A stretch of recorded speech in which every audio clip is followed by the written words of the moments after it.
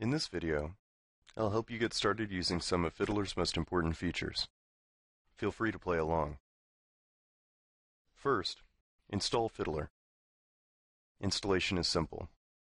Go to fiddler2.com and click Get Fiddler. Click the version of Fiddler you want. Save and run the installer.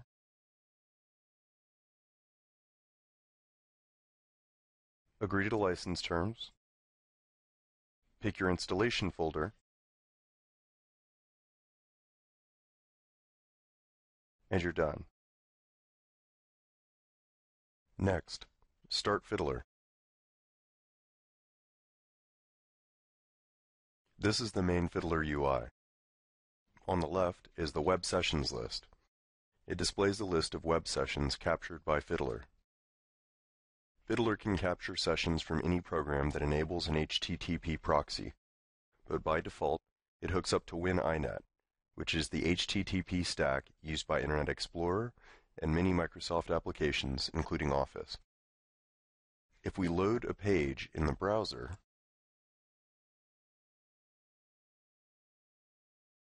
Fiddler captures sessions from the browser.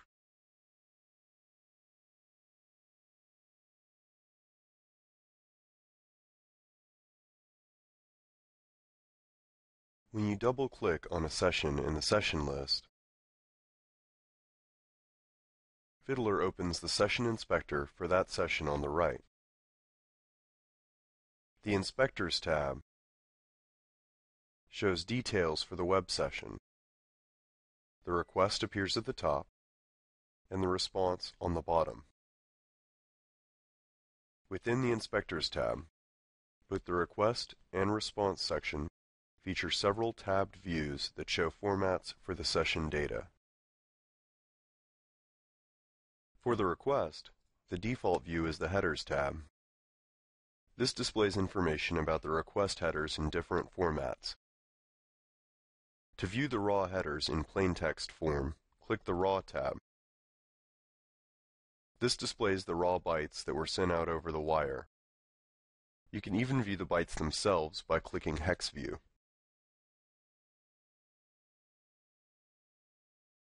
For the response, you can also view the headers. A text view of the body of the response. A syntax view that highlights the response body according to type-specific rules. An image view for images. A hex view. A web view that provides a quick preview of how a given response may appear in a browser. A caching view, which pulls information about the caching headers on the response. An auth view, which will show any authentication headers. A cookies view, which analyzes the P3P statement if there is one present. A raw view, that will display the plain text of the response. The JSON view, which displays a JSON tree view of the response body if possible. The XML view, which will display an XML formatted tree for the response body if possible. And the transformer view, which will add or remove compression or encoding to view the impact on responses. There are other top-level tabs, like the Statistics tab. Here, you can view the number of requests and information about them. To see an example, let's clear the sessions list and refresh the Fiddler homepage using Control F5. Now, we can see traffic for the Fiddler homepage appear in the Web Sessions list. If we select all the sessions, we can see in the Performance tab that there are 29 requests and a certain number of bytes sent and received. You can view the bytes broken down by content type, view a chart of the traffic, and more. The Statistics tab is a good place to start profiling the performance of your website. The Autoresponder tab allows Fiddler to respond on behalf of the web server. This is useful for determining whether the client can correctly handle a server response.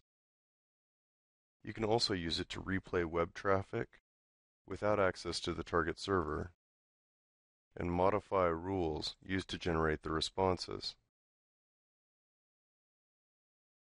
The Composer tab builds a raw HTTP request. Here, you can drag and drop an existing request, modify the request, and re-execute the request.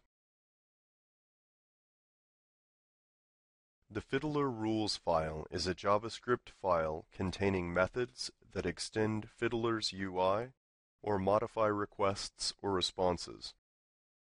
You can open the rules file by clicking the Rules menu and selecting Customize Rules, or by installing the Rules tab add-on, which creates a FiddlerScript tab.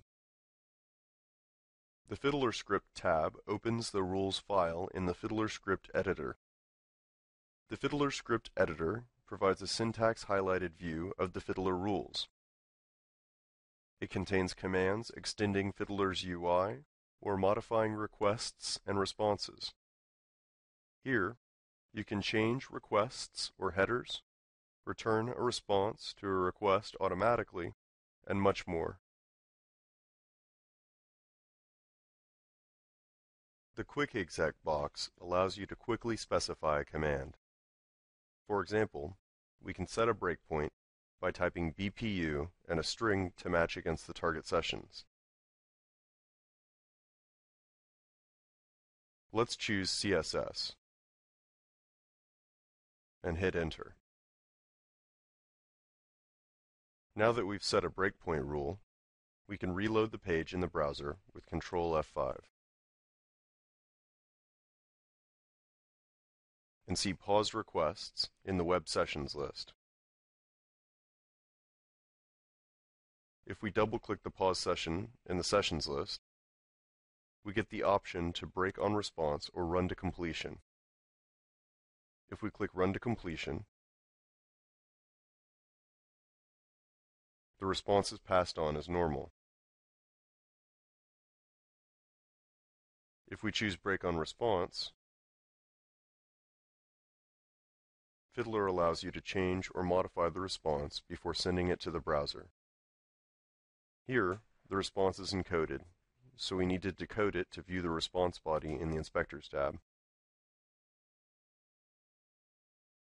If we delete the CSS from response and run to completion, we can see the difference in the appearance of the site to turn off the breakpoint. Enter BPU in the Quick Exec box.